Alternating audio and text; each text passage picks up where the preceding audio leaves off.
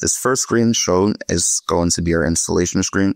And throughout this demo, we're going to walk through the process of installing Kaito, deploying a model with Kaito, and finally testing things out. So that entire process. Hi, and welcome to another exciting episode of Open at Microsoft. In today's episode, we are going to talk about Kaito Kubernetes AI toolchain operator integration with AKS VS Code extension. This operator helps in deploying AI models to your AKS cluster in just a single click. At this point, I'm going to introduce you to one of our engineers, Tejhan. Welcome, Tejhan. Hey, Sats. Um, thank you guys. I think the collaboration we've done is really awesome. It's nice to see how we've created an entire end-to-end experience where users are able to kind of skip all of the difficult steps and kind of get things running, you know, as easily as possible and see a lot of interactive feedback throughout that entire process. So I'm excited to show the work we've been working on. Indeed. And I love it that we kind of shim all the heavy lifting, which needs to be done under the functionality of VS Code extension. So user just needs to follow a simple step. And I'm excited to see how it all works. Do you have any demo? Absolutely. I can go ahead and start showing that right now.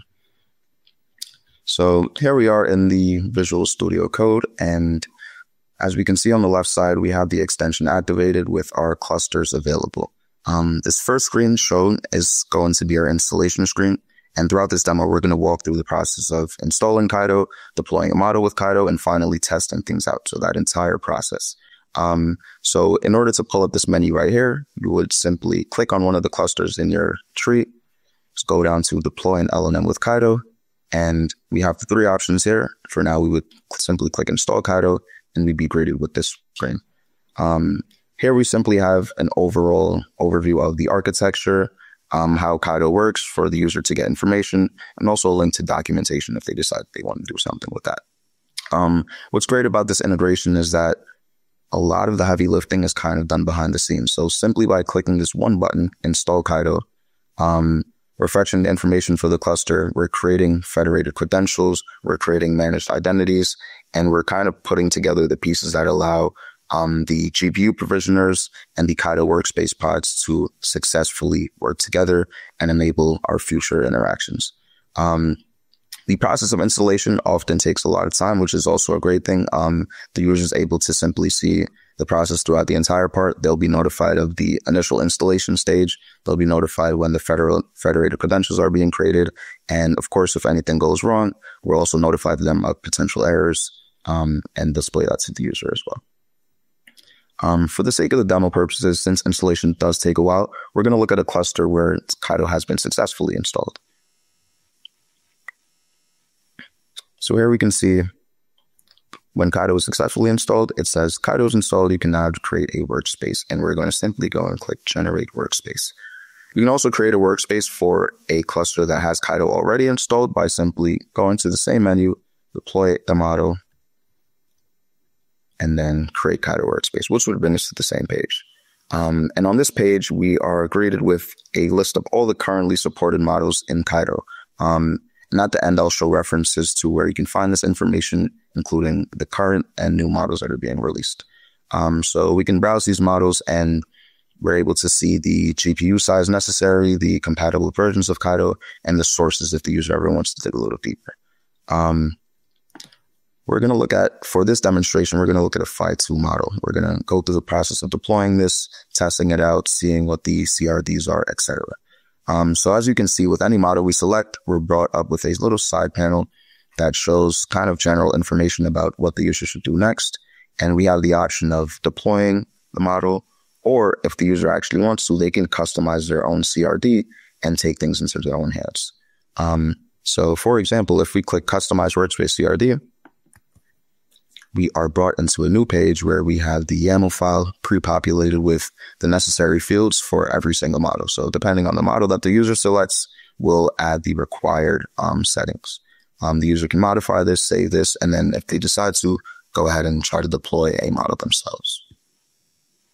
And what I really like about this is that from the user's end user's perspective, they can f- concentrate on their flow, workflow, rather than the nitty gritty details in order to get actually the model up.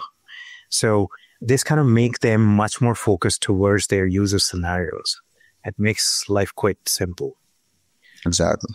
Exactly. And it's also awesome to see everything kind of consolidated in one place. Um, all the available models, um, the information needed for the models, and little tips and tricks are kind of all presented to the user at once, so they don't necessarily have to do the research to figure out every single step. Um, so once the user is ready, they would simply click deploy default workspace CRD.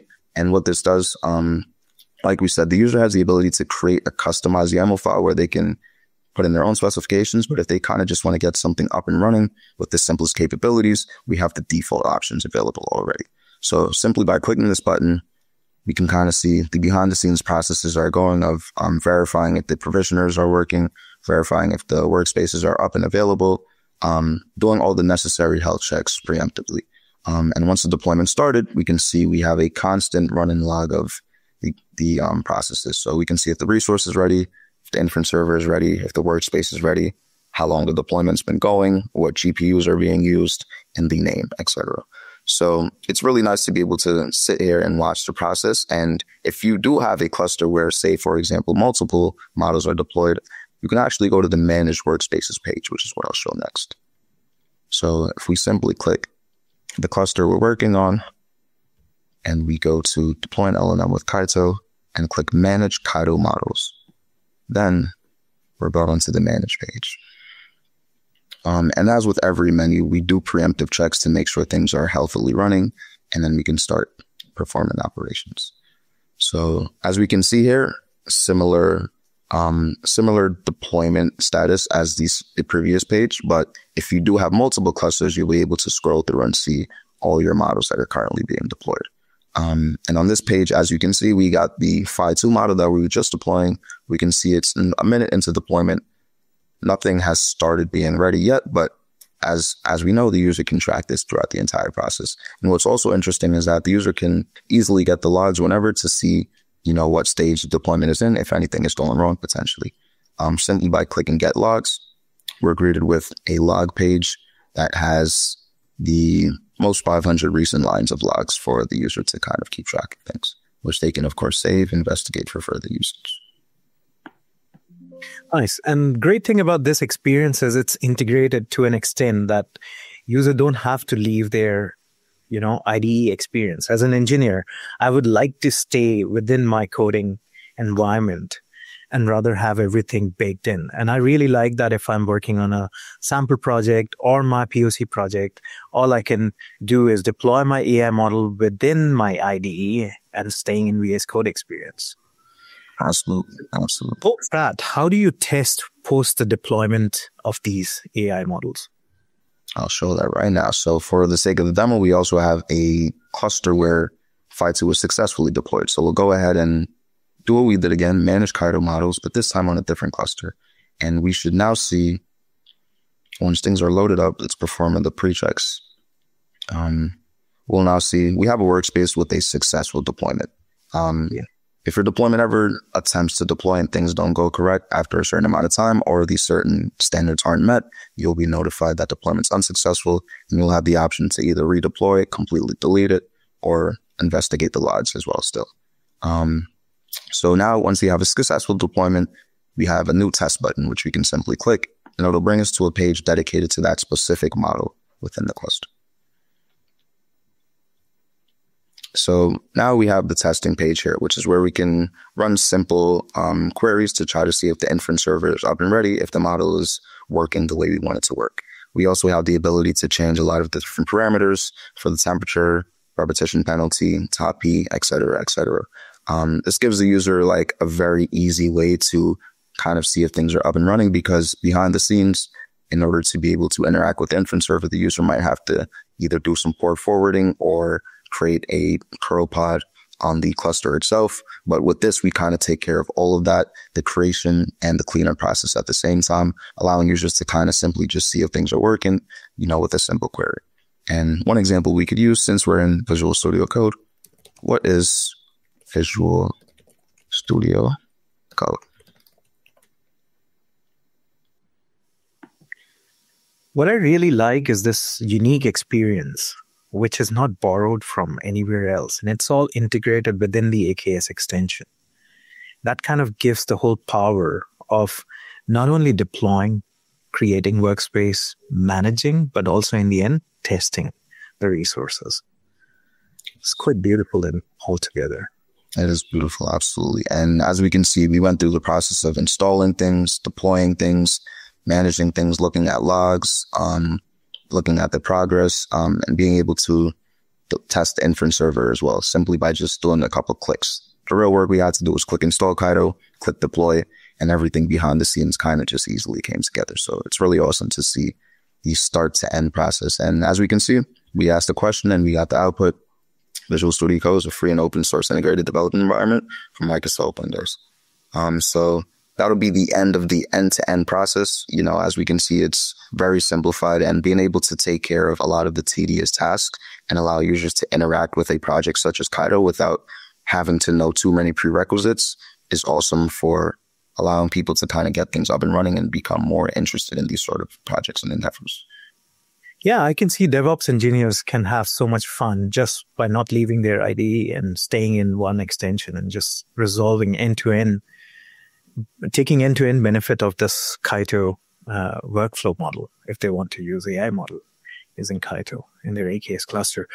Uh, do you have any resources to be shared where a user can go and read more about it? Yes, I do. I do. So here we have the GitHub repository for AKS tools.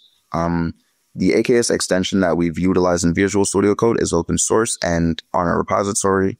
Um, anyone's open to open issues if there's potentially new issues they want to request, um, new features they want to request. And additionally, here is the link for the Kaito GitHub repository. Um, if you're interested in learning about Kaito in general, um, potentially not even just the Visual Studio Code experience, but in general, here's a repository for it as well. That's awesome. And at that point, I would encourage users if they have any feature requirements or any conversation they would like to start, they can please reach out via our VS Code extension repository. It's open source and people can open issues or feature requests there as well. And we are fairly active there. Thank you so much, Tejhan. That was really amazing. And I'm looking forward for more feedbacks, experience share, or anything else. Thanks a lot. Thank you so much, Sats. This was amazing.